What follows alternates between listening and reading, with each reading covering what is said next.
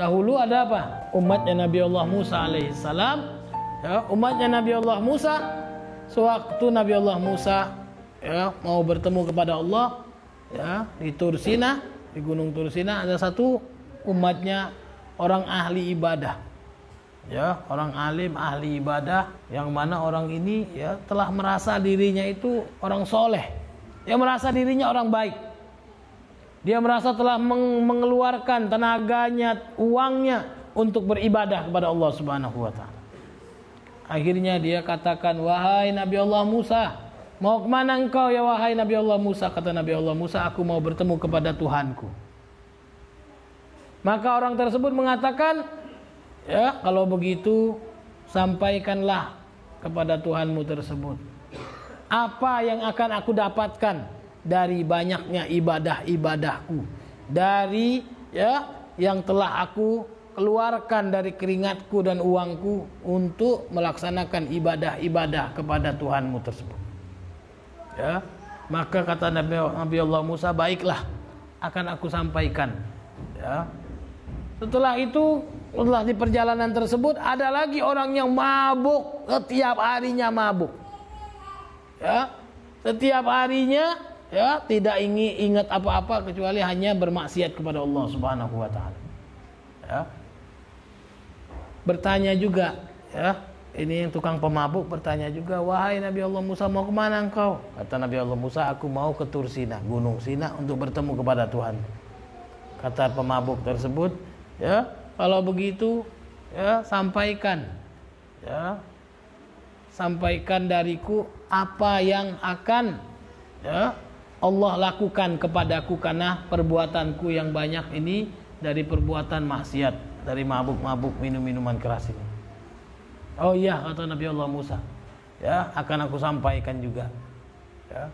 Setelah Nabi Allah Musa ya selesai turun, ya datanglah orang yang ahli ibadah ini kepada Nabi Allah Musa alaihi salam mengatakan ya apa yang telah engkau sampaikan ya apa yang telah Allah sampaikan Tuhanmu sampaikan ya untukku yang banyak ibadah ini maka Nabi Allah Musa mengatakan oh iya ya yang disampaikan oleh Allah Subhanahu wa taala untukmu adalah Allah menjanjikan untukmu pahala yang sangat banyak.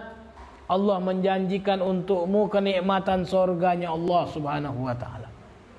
Maka orang yang ahli ibadah ini mengatakan sudah kuduga apa yang bakal engkau sampaikan aku sudah tahu dia merasa apa ya dirinya ya mendapatkan balasan yang besar dari ibadah-ibadahnya. Ya. Maka dari itu setelah berapa hari datang juga ya ketemu lagi dengan pemabuk. Seorang pemabuk yang bertanya tersebut minta sampaikan tersebut, maka seorang yang pemabuk itu bertanya, "Wahai Nabi Allah Musa, apa yang telah disampaikan oleh Tuhanmu untukku?" Maka Nabi Allah Musa pun mengatakan, kalau untukmu tersebut Allah Subhanahu wa taala sudah mempersiapkan azab untukmu. Maka orang yang tukang mabuk ini langsung joget-joget kesenangan. Tukang pemabuk setelah mendengar ya Allah akan mempersiapkanmu azab, langsung dia lompat-lompat ya langsung dia riang bergembira bernyanyi-nyanyi Ya, Nabi Allah Musa kaget kok ini orang ya mau diazab sama Allah, malahan dia ya malahan dia senang-senang, malahan dia bahagia. Ya, kata Nabi Allah Musa, "Kenapa engkau ya? Kenapa engkau bahagia mau diazab sama Allah?" Maka kata dia, ya kata orang pemabuk ini, ya, aku bersyukur kepada Allah, ya, karena Allah masih ingat kepadaku. Ya, Orang lain saja nggak mau lihat aku katanya. Ya berarti Allah masih mau ingat kepada ingat kepadaku. Berarti tahu Allah ini nanti aku bakal dia bakal diazab. Yang kadar itu aku bersyukur kepada Allah. Allah masih tahu kepada mau tahu kepadaku, ingat kepada ingat kepadaku. Oh, begitu kata Nabi Allah Musa. Setelah ya orang itu pulang, Allah pun Subhanahu wa taala mengabarkan kepada Nabi Allah Musa wahai Musa, adapun orang yang ahli ibadah tersebut ya, dia merasa amal ibadahnya ya nanti dapat pahala dan tidak dapat sorga karena sebab dari amal ibadahnya dan rahmatku sorgaku tidak bisa dibeli dengan ibadahnya manusia ya jadi rahmatnya Allah Subhanahu wa taala ya tidak bisa didapatkan dengan ibadah kita. Ya. Sorganya Allah Subhanahu wa taala tidak bisa didapatkan dengan banyaknya ibadah kita. Maka dari itu aku siapkan untuk orang ahli ibadah tersebut, orang alim itu adalah neraka.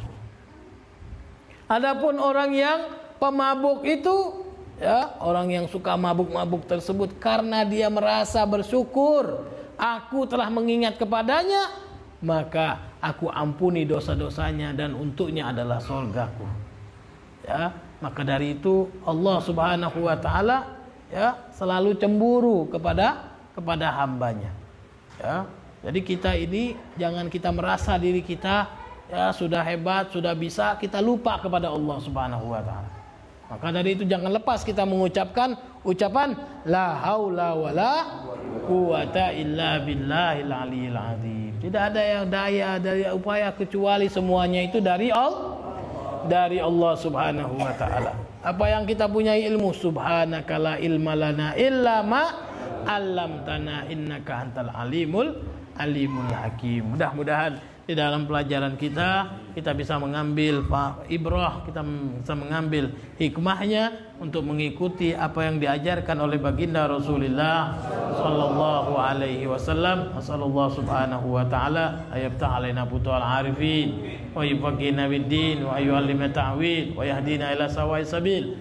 Wa yaj'alna minal ulama al amilin al muhlisin fil ilmi wal yaqin اللهم بارك لنا في رجب وشعبان بلغنا رمضان ويعيننا على الصيام والقيام وتلاوة القرآن ويحفظنا من المعاصي والآثام صلى الله على سيدنا محمد النبي الأمي وعلى آله وصحبه وسلم سر الفاتحة وإلى حضرة النبي محمد صلى الله عليه وسلم الفاتحة